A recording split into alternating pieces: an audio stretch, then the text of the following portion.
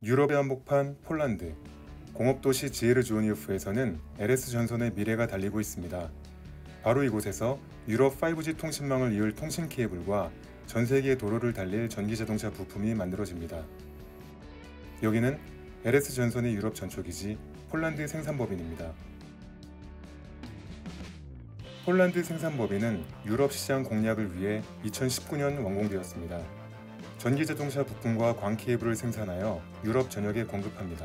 Ma w swojej ofercie jako globalny producent kable zarówno optyczne, jak i elektroenergetyczne, a także kable ekstra wysokich napięć oraz kable OPGW.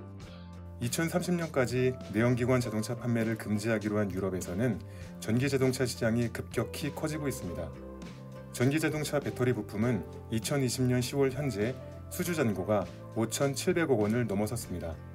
사업 확장을 위해 증설도 준비하고 있습니다. 셀을 연결하는 버스와와 그다음에 이 보드 살을 연결하는 솔더링 공정이 제일 핵심이고요.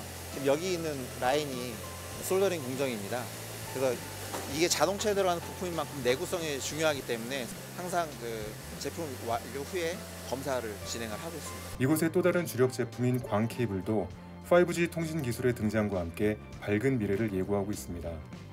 유럽은 인터넷 통신망의 역사가 긴 만큼 교체해야 하는 낡은 통신 케이블이 많기 때문입니다. 어, 5G를 위해서는 케이블당 데이터가 빠르게 그리고 끊임없이 전송이 돼야 되는데 그러기 위해서는 케이블당 500개 이상의 파이버가 투입이 되어야 됩니다.